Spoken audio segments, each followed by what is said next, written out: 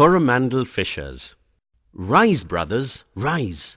The wakening skies pray to the morning light. The wind lies asleep in the arms of the dawn, like a child that has cried all night. Come, let us gather our nets from the shore and set our catamarans free, to capture the leaping wealth of the tide, for we are the kings of the sea. No longer delay, let us hasten away in the track of the seagull's call. The sea is our mother, the cloud is our brother, the waves are our comrades all. What though we toss at the fall of the sun, where the hand of the sea god drives? He who holds the storm by the hair will hide in his breast our lives.